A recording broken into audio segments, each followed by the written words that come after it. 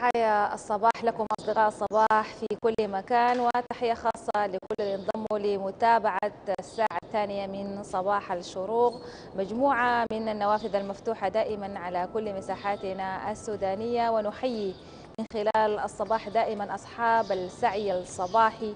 وتحية خاصة لربات البيوت صاحبات السعي الصباحي الأعظم ونحيي كل حاملي رسالة السعي والكسب الحلال وكل المرتقين بقيم العمل والأمل في كل صباح جديد في أرزاق.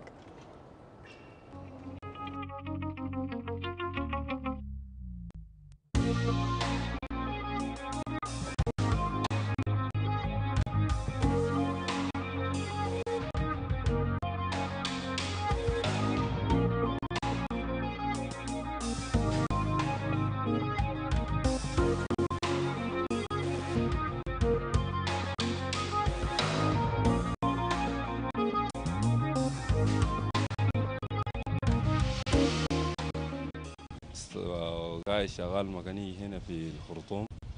لي أكثر من عشر سنة في الخرطوم هنا شغال في مجال الميكانيكا مع شركة المهاجر.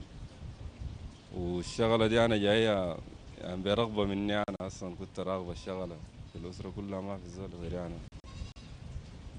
والحمد لله شغال تمام. درست درست معهد هنا في شارع الغاوي المعهد الألماني. ثلاث سنوات. تخرجت منه. وتعينت رسمي في شركة المهاجر. والحمد لله هسه شغالين تمام. شغال مع المهاجر.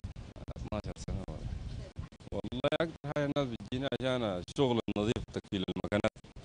يعني المكانات دي أنا بشتغل مكانات يعني بتقول بيقول لك المكنة دي ما بتشتغل إلا تغيرها لكن أنا بقوم بفكها بعملها بجيب إزبيات أصلية والحمد لله الناس كلها بتجيني عشان المكانات. عربات يعني كل العربات الجاز والبنزين كروزرات كلهم قاعد يشتغل المكان يعني في مجال المكانات دي الحمد لله. أنا عارف أقفل لك المكنه خمسة ستة سنة بتكون شنو في عمل.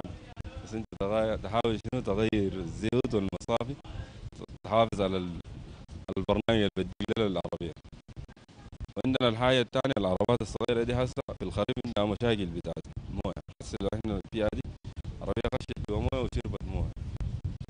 ضربت لنا المكنة. والله.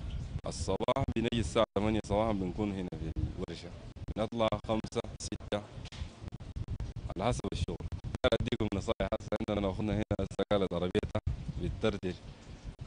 أنا خشيت بها في الموية. أنت لما تخش الموية ما ما تستعمل الأبانس. ترفع رجلك من الأبانس العربية بتتدردق برا بتمشي. لأن لما تدوس الأبانس العربية بتشفط الموية بالسايفون. بتودي لك الراس والمنفول دي. العربية بتجور تاني ما بتمشي معك إلا تفك المكنة وتفك الحاجة. لكن لو خليتها والتقسيمة بتطلع برا. الشارع بس أنت تكون حافظ الشارع يكون نظيف. يعني يكون ما فيه حفرة عربيه بتتدردق برا بتمشي.